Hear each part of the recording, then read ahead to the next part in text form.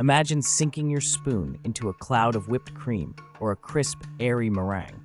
What makes these treats so light and delightful? The secret lies in the fascinating process of trapping air within a liquid or semi-liquid. When you whip cream or beat egg whites, you're not merely mixing ingredients, you're folding billions of microscopic air bubbles into the mixture. Proteins in the cream or egg whites unfold and rearrange themselves around these bubbles, creating a delicate yet stable network that holds the air in place. This intricate structure is what gives whipped cream its pillowy softness and meringue its crisp, ethereal shell.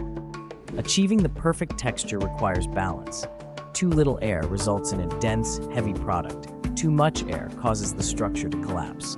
Temperature also plays a crucial role. Cold cream whips better because fat solidifies and helps stabilize the bubbles. In meringues, adding a touch of acid like lemon juice strengthens the protein network, resulting in a firmer, more resilient foam. So the next time you indulge in a light dessert, remember, you're savoring a delicate dance of physics and chemistry in every bite.